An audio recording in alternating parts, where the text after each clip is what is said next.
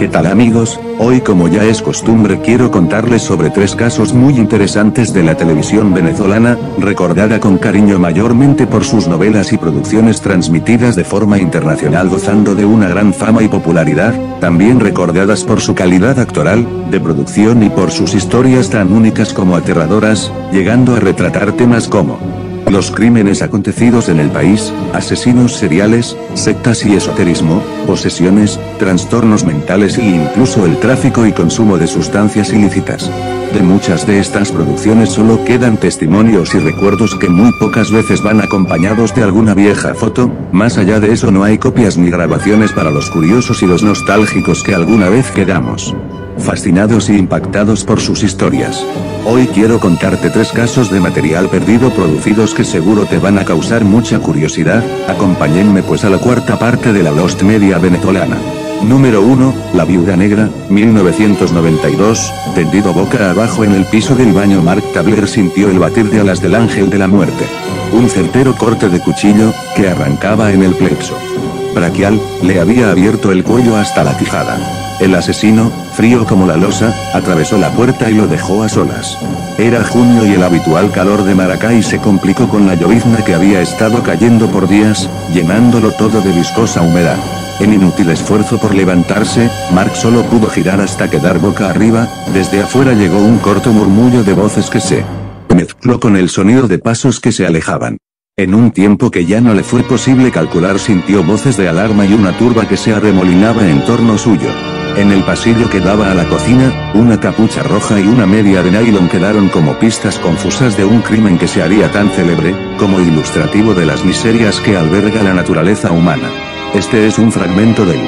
caso real que inspiró esta producción del año 1992 rodada para el canal Radio Caracas Televisión basada en el crimen de la Pedrera, el asesinato del ciudadano americano Mark Tabler acontecido en Maracay, Venezuela en los años 90, uno de los casos más complejos y escabrosos de la época. Larry Doll, veterano de la guerra de Vietnam y afectado por la misma, viene a trabajar como técnico en mantenimiento de submarinos en una base naval de las costas venezolanas. Al llegar al país, un compatriota suyo y un trabajador nativo lo llevan a un bar de mala muerte llamado El Gato Enmochilado, un lugar donde abundaban los boleros del despecho y las ficheras que se dedicaban a sacarle hasta el último centavo a los hombres que frecuentaban allí cada noche, allí es donde sucumbe ante la más hermosa y perversa, una empleada del local llamada Betty. Larry queda embrujado ante la belleza de aquella mujer y deciden comenzar una relación entre ellos, luego Larry decide contraer matrimonio, aun cuando es advertido de la clase de mujer que es Betty. Se casan y deciden buscar una casa para vivir junto a los hijos de ella.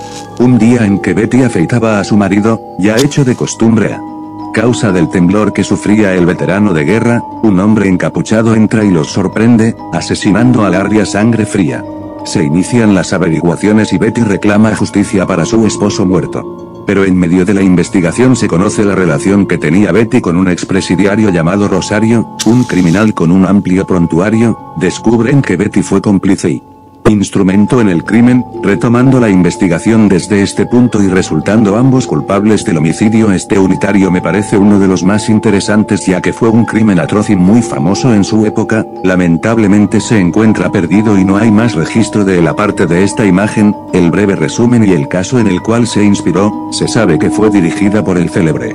director César Miguel Rondón para el canal RCTV en el año de 1992, este fue el mismo director detrás del telefilme El horror de quedarse sola estrenado un año antes, si les interesa saber más a fondo este caso pueden visitar el blog de las crónicas del Thanatos ya que es un caso muy extenso y algo complicado como para hablar en profundidad, quizás lo haga en otra oportunidad, igual díganme si quisiera que hable sobre este suceso. Ahora pasemos al segundo caso. Poseída, 1991, de este unitario recuerdo muy poco ya que logré verlo por el año 2011 por el extinto canal La Tele que lo retransmitió aquel año, dirigido por César Bolívar siendo una producción del canal Marte Televisión y protagonizado por Astrid Carolina Herrera, Martín La Antigua y Elba Escobar. Trata sobre una mujer llamada Elisa que Sufre un trastorno de personalidad múltiple y es maltratada por su madre, entre estas personalidades se encuentra Lily que sería una mujer temerosa e inocente y en contraparte una personalidad malvada que parece poseerla como si de un demonio se tratase, he estado tras la pista de este unitario desde hace más de 2-4 años, solo me quedan recuerdos vagos y estas pocas imágenes que tras horas de intensa búsqueda he logrado recopilar y di con el trailer incompleto en una cuenta de Instagram llamada Revolución Network y digo incompleto porque falta cuando el narrador dice el nombre del unitario con las palabras Astrid Carolina está poseída. Esto acompañado de una escena que es lo que más recuerdo y es que Astrid está amarrada a una cama con una camisa de fuerza puesta mientras se sacude con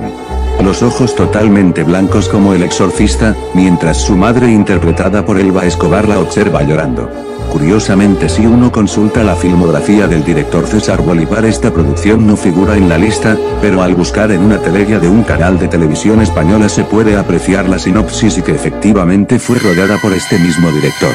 Espero que esta joyita de la televisión venezolana salga a la luz nuevamente ya que personalmente fue uno de los unitarios que más me gustó con Astrid Carolina Herrera como he disfrutado de muchas de las producciones en las que participó, sobre todo en La Sayona con la que cerraremos este video. La Sayona, 1991, este fue un unitario fue dirigido por Humberto Morales y protagonizado por Astrid Carolina Herrera y Haroldo. Betancourt basado en la leyenda popular del ánima de una mujer que espanta a los hombres mujeriegos y parranderos seduciéndolos para luego transformarse en una vampira que les pide un beso para castigarlos, aunque en este telefilme se basan ligeramente y de una forma un tanto extraña en esta leyenda ya que no es de terror realmente, esto fue confirmado por el usuario JG en el primer vídeo de esta serie, Astrid Carolina interpretaba a una mujer que se solía vestir como la Sayona, con un vestido blanco y una túnica osaya y solía despistar a los camioneros para cargarlos de sustancias ilícitas, al comenzar el unitario vemos como Haroldo Betancourt logra observarla cruzando la carretera y esta se detiene en un cementerio y es cuando se nos presenta en pantalla el título del filme acompañada por una música de suspenso muy tétrica y tenue y una risa fantasmal que se me quedó grabada siendo este el único recuerdo que me quedó de este filme ya que al haberla visto hace muchos años atrás no logro recordarla como realmente quisiera. Este unitario gozo de mucho éxito e incluso hasta el día de hoy sigue siendo recordada como la mejor interpretación de la Sayona, tomando en cuenta el éxito de este primer filme en ese mismo año se realiza una segunda parte esta vez con la actriz Crisol Caraval ahora sí con un aura más sobrenatural y un estilo algo parecido al de Astrid a pesar de que no la considero una mala producción no tuvo el mismo reconocimiento que tuvo la primera, lamentablemente tanto de la Sayona de Astrid y de Crisol Caraval están totalmente perdidas, de la Sayona de Crisol. Solo se conserva esta imagen promocional con una pequeña sinopsis, no se sabe cuál fue el resto del elenco aparte de Crisol Caraval. ¿Dónde estarán archivadas estas producciones? ¿Se habrán conservado? ¿Saldrán de nuevo a la luz? Realmente no sabría responder estas interrogantes, tres producciones que solo viven en el recuerdo pero que están perdidas en el tiempo, algo injusto y triste considerándola. Buena producción que tienen, pero cuéntame lograste ver alguna. Recuerda que eres libre de contarnos tu experiencia en la caja de comentarios o si deseas verlas también, espero que llegue el día en que podamos ver estas joyas de la televisión nacional, gracias por tu atención y apoyo, si disfrutaste el vídeo dale like y compártelo con tus amigos y si quieres conocer más casos de la Lost Media.